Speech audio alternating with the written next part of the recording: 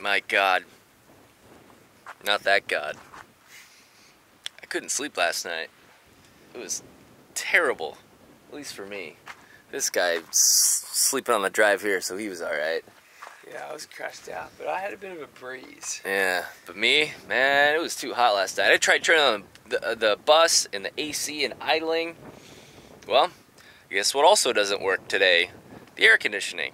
Yeah, sucks, right? Um, also, we're stuck. And uh, if you saw yesterday's video, you'll realize that I did mention this, but I didn't want to make it really bad. So once I felt the vehicle getting stuck, I, I, just I just quit. So anyways, there's a nice guy that we um, met out here. He lives over here. He offered to give us a tow, but I'm not really sure if that's gonna work.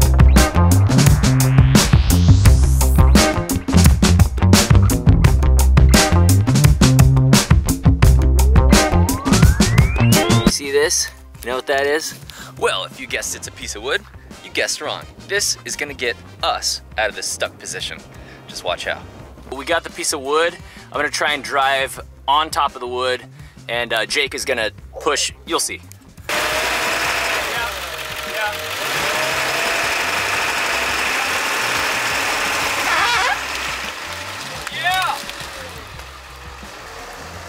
That's what you call bush mechanics, baby! All right, we did it. We're unstuck. And this is what I'm talking about. If I would have kept uh, trying to plow through, that's really soft stuff. So, uh, dude, thanks for your help, the, for the assist. Now I can uh, breathe a sigh of relief. Well, it's hot out here. Uh, laptop is on fire. So I got this uh, to cool it down. Uh, by the way, we've just been editing next to this killer view.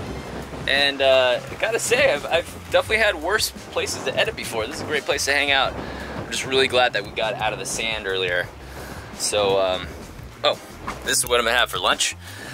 Uh, good old soup, and I'm gonna eat it just like this. Just gonna eat it nice and cold. Mmm, look at those lentils. Yum, yum, yum, yum, yum, yum, yum. Mmm. Cheers. Another amazing find uh, in the Salton, well, I should say in Slab City, is uh, Horn Feather is a, a person you'll meet in a second, but he's making all this jewelry all himself and really with, with some amazing, amazing things here.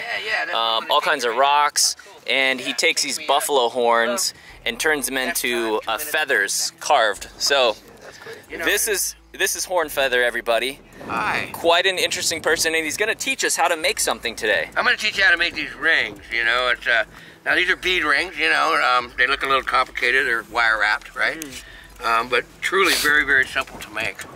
Um, here, let's just go ahead and do that. Uh, I'm going to need, uh, let's see. I just use so it's easy to see this bright blue turquoise bead, right? Okay. Now, I'm going to take a piece of wire about this long. What I'm using is uh, silver covered copper. It's just copper. All the wire I use is copper. Very inexpensive because after all, I'm not wrapping a diamond here. Right? okay, so, you know, and, and I'm going to sell this thing for five bucks, and I'm going to show you why. I'm going to find the middle of it like this, and I'm going to bend this wire down, yeah. and then I'm going to turn the pliers sideways and bend it back out. You see what I just did there? a little kink. A little, yeah, like a little Z in it, right? Yeah. yeah. Like a Zorro. Just, just, like that, just like Zorro, right? This, this is like a magic act, a magic trick. Okay, um, now I'm gonna hold it upside down. I'm gonna bend this side over. Get what I'm doing here is I am basically capturing the stone in one spot, right? Right. And just like that. Oh yeah, interesting. So you okay. so you you held it in place there. Right. Yeah. Okay, now I'm gonna take one of these. You can pick these up at like Joann's or Michael's for, you know, ten bucks or something like that, and you've got it forever. You know, never have to buy it again. You need a pair of pliers and a wire and a bag of beads, right? um, what's this called? This is called a mandrel. Okay. And it's a plastic one. They make them in uh, they make them in steel for uh, doing sterling silver and stuff like that. But this is for doing wire wraps and things like that. So what I'm going to do is uh, uh, I'm going to look at your finger. All right, there we go. I got you.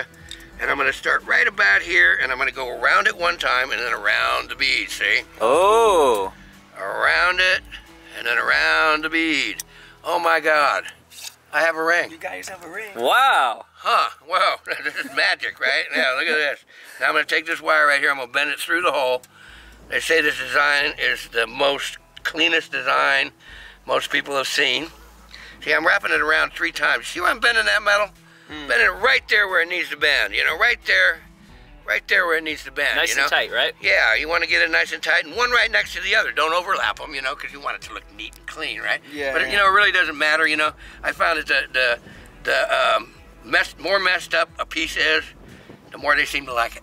Yeah. You know, if it's handmade, right? Yeah. More character. Yeah, it it gives it character, and they and they like it better, right? So there we go. I've gone three times around on both sides. I usually leave this wire a little bigger. I kind of messed up, you know, but it's not going to hurt anything. I'm going to cut the other one to the same size, right?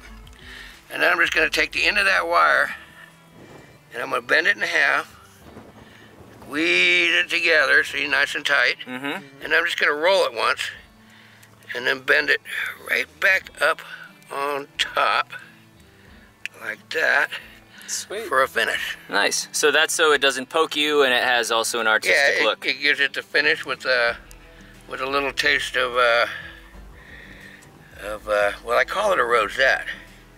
And the reason I call it a rosette is because it sounds like it's worth more.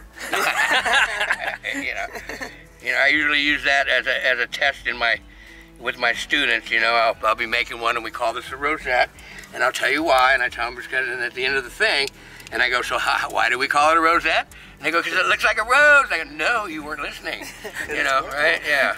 Okay, so So now we go. We got a nine. tight? Now, if you need to, sometimes they're a little crooked. You just kind of bend it. Hmm. You know, it is wire. Tighten it up. Bam. I looked at that finger right there. Here, go ahead and try it. Not gonna put it on. We're not getting married. Yeah. yeah. Should, I got close. I, I, I didn't quite get there, did it? Oh yeah, I Yeah. did. Yeah. Oh, nice. And that was just by looking at the finger. See, it's like playing baseball or hacky sack. You throw your foot out there. You know, I looked at his finger, then I went straight to this, and it's something your brain does. You know, Yeah, yeah. if you allow it. yeah. Yeah. That's amazing. well, thank you so much for teaching very, us how to very do this. Yeah. And uh, I love what you're doing. I love that you're teaching people how to fish instead of giving them a fish. Well, so, you know, and I've given a few fish away too, but you know, it's like like I said, if I get somebody that's kind of destitute, you know, and, and I'll have them make three or four pieces, and then I'll just send them off with them. You Yeah. know? You know, I'm not going to yeah. keep them. You know, Yeah. they made them themselves, and then if they can get one sold or two sold, then they might just go ahead and keep Got making them. You know, Yep. Yeah. and then all of a sudden they're going, wow, I can do this, and uh, and it really helps. Yeah. Cool. Yeah. So, uh, where can people find you if they want uh, a custom piece? Ha ha ha ha! That's all I got to say about that. You know, catch me where you can. You know, let's see. This year, this year up to date, I was in. Uh, let's see. I started in uh, uh, Open, Arizona, and then I went to San Diego. Then I went back to Open, Arizona, and then I went to uh, Bisbee, Arizona, Tombstone, Silver City. Um, then I went down to the Padre Island in Texas Yeah. And uh, spent a couple of weeks down there, you know, just checking them out. I, I heard it was 65 miles of, of uh, undisturbed coastline that you can camp on for free for up to 51 days. 51. Wow. Oh yeah, yeah. Well, you know, and then yeah, then there's there's the North Island where you can pay twelve dollars and fifty cents and you can camp for like three days here, three days here, three days here, three days here, and then start over again. So you can pretty pretty much stay on the beach down there for nothing. Yeah. Right. I like it. And how, how long have you been on the road as a nomad? well, about 15 years now. That's when my hip and shoulders went bad. Since then, I've had my hip replaced. Yeah. You know, more better.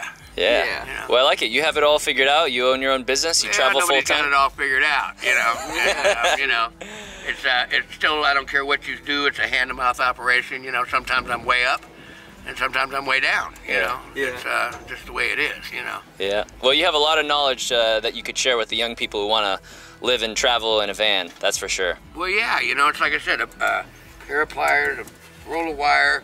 You can buy this this leather for seven dollars and fifty cents at Joanna's or Michael's. Comes in a big bag. Get about a hundred bracelets out of it, right? Oh yeah. That's amazing. You know, so it's all you know. One of these um, little rings, you know, pretty much costs you about seventeen cents. Yeah. Yeah. Wow. And That's you, uh,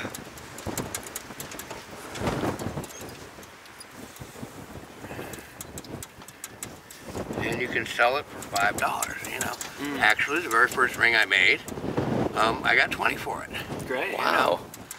It's when I when I travel, um, I like to buy handmade things from the place I'm in. because everything these days is made in China. Everything's factory made. Everything's, you know. Uh, Well, I'm gonna tell you, I work like a Chinaman, and I admire them people for their work ethic.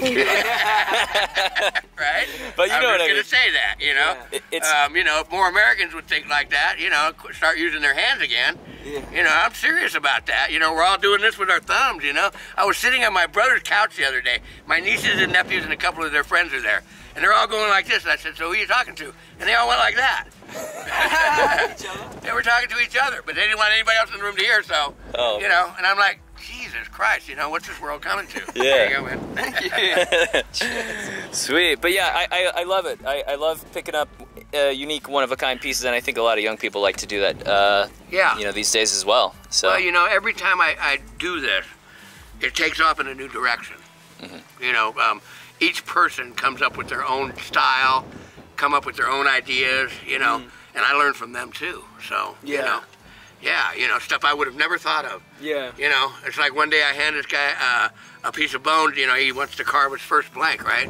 And instead he comes back with a, a cut of a, of a bird Wow. and then carves that fucking thing. And I'm going, all right, yeah. right, yeah. that's cool. And So would you- now I know how to do those, you know? Yeah. Yeah. and, and and will you show us uh, the horn feathers?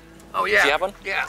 Yeah. I mean, this is what you are named after. after yeah, all. exactly. Well, here, let's uh, let's have a little fun with it. I, I'll kind of give you a tour of what I'm actually doing All right. right now. And I just stop here to uh, to make stuff, right? This is uh, the inventory I have left after San Diego. I got a pretty good inventory. There's a little leather bracelets and hand carved. I, I carved them all with a file, triangle file, right? And this is what I'm working on now. These are buffalo horn bracelets, right? I just want to show you that uh, it's important to work hard. There's no two, no two the same. And these are made out of uh, buffalo horns. This is a buffalo's horn, yes. and then you hand carve these in uh, into feathers. Right? Well, I hope that's what they look like. You know? or they're calling me the wrong thing. Maybe it should be leaf feather. I mean, leaf, leaf horn or whatever. I don't know. But I think they look like feathers, you know. I think so too. And then some of them are bracelets, or, or most of them Well, are that's what bracelets. these, Is that- these will all be bracelets, right? But then I make, you know, pipes, Mhm. right? Um, oh, let's see. I got two of these of each kind, and these will be pairs of earrings. Beautiful. These are the tips of a deer antler, right? And then, uh, oh, let's see. I take the uh, deer antler buttons, right? And I grind them out in here and sculpt them a little bit, and then I inlay turquoise. Wow. You know, um, high dollar stuff. You I like it. It's it's great stuff. Here's one. This, this feather was on my cane Wow. for uh, nine years. Wow. I just cut the cane up. It was caribou, cholla cactus, and uh, um, it had that shark jaw and the fish head on it. It was my walking stick, Oh, fun. right? And uh, I just cut it up because I'm going to use the caribou. Um, and this horn over here, I'll have buffalo horn, I'll have caribou, I'll have, uh, this is a piece I got in New Mexico about six years ago. I use it sparingly. It's Cape Water buffalo, you know, horn, right? That's from the Cape Water buffalo. This is a chunk of bighorn sheep. Wow. So Wow. I'm gonna have feathers of, you know, many different kinds of uh, of the animals, you know, all junk that you find laying on the ground and stuff, or in somebody's yard, or you know, Yeah. yeah. That's amazing. I mean, you can go to stores and buy it, you know, but I get a lot of mine in trade. That's what those kids were doing here. They were trying to get me to buy that uh, one piece of bullhorn for for like 20 bucks or something, you know. Yeah. And I, I buy them for six dollars a piece, and if I buy 100, I'm gonna get them for three. Wow. You know, so I'm not, you know, I'm not gonna buy one for 20. And I'm trying to explain to them that, you know, hey, I can show you how to make some money with that, Right. you know. and they said they might be back. We'll see. Yeah, that's amazing. Dude, thank you yeah. so much for very welcome. sharing Yeah. your life and, and what you do with, with both of us and people who are watching. Right, right.